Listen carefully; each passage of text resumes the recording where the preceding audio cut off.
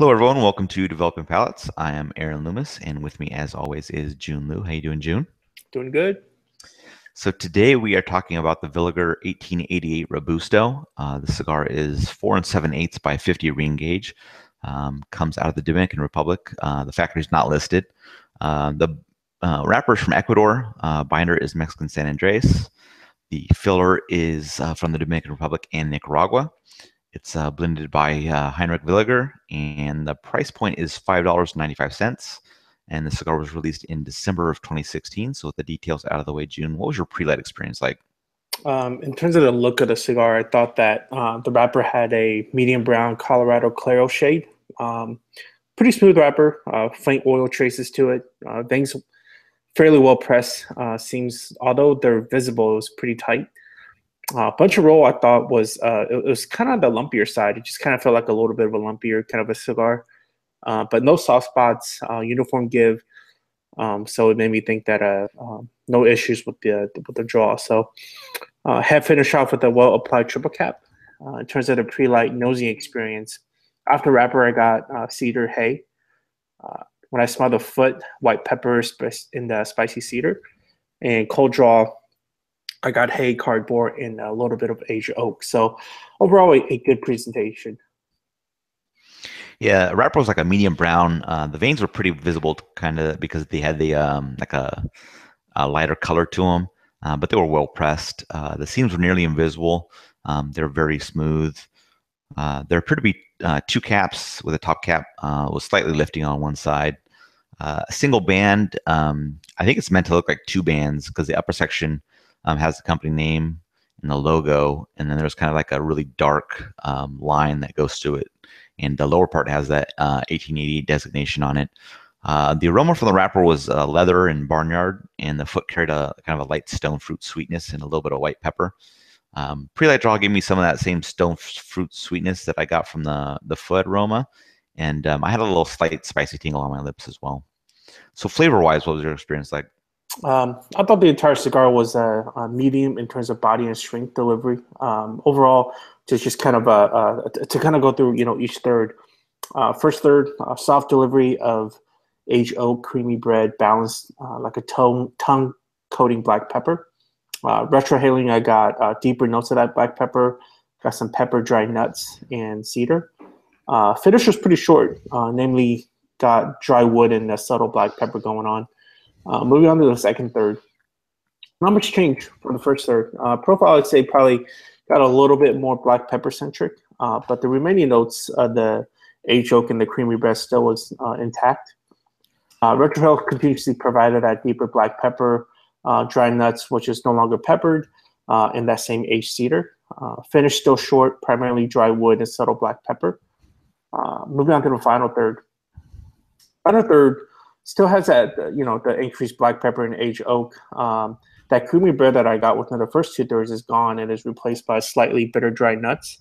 Um, also, uh, I started getting like an intermittent underripe sour citrus note um, from the beginning of the last third. So uh, within kind of the latter half of that last third, um, that that note dissipated.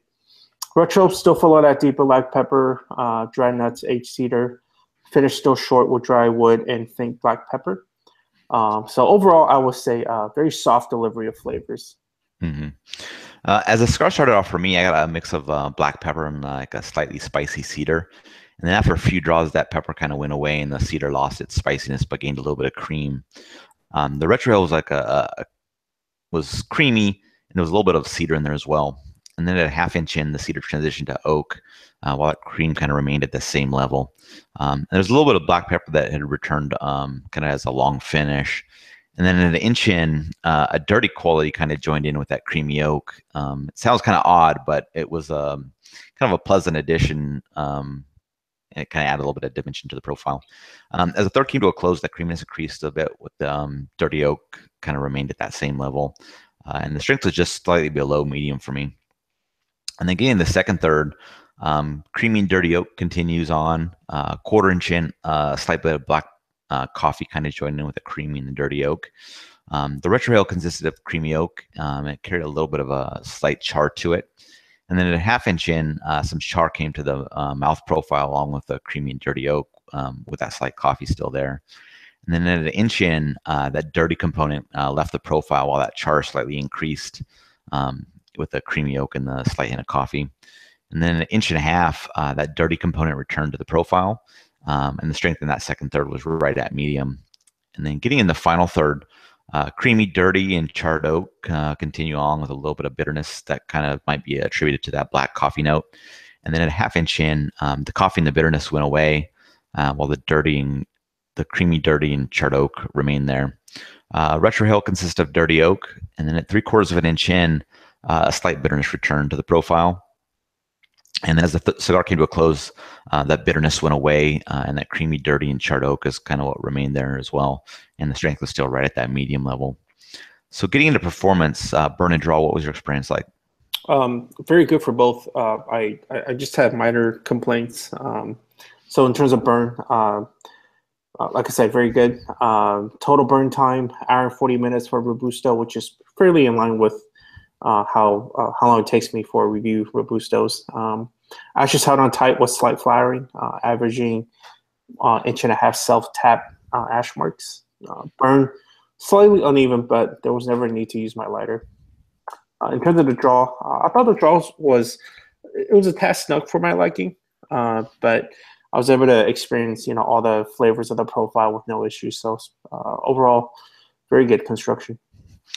Yeah, construction for me was pretty much perfect. Um, I couldn't really ask for much more from the burn. Uh, it was razor sharp entire way. Um, the ash dropped a three inch mark, uh, and then it held on again until the cigar finished. So I really, you know, uh, nothing really to complain about there. Um, and the draw was perfect. Just you know, had just the right amount of resistance that I like um, on a cigar. So nothing really to complain about there. Uh, so overall, what were your thoughts on the cigar? Uh, overall feel, um, average flavor profile, coupled by really good construction. Um, I thought that there was too much subtleties, uh, and and really with with that said, um, there's pretty major lack in flavor depth. Um, I felt like at times even it was almost like I was just burning paper, uh, mm-hmm. and I was just tasting that. Um, so with that said, I mean, um, I like to try this in a smaller ring gauge to in the hopes of you know getting more of that wrapper flavor and just kind of getting more intensity of flavors. So but this is average for me. Yeah.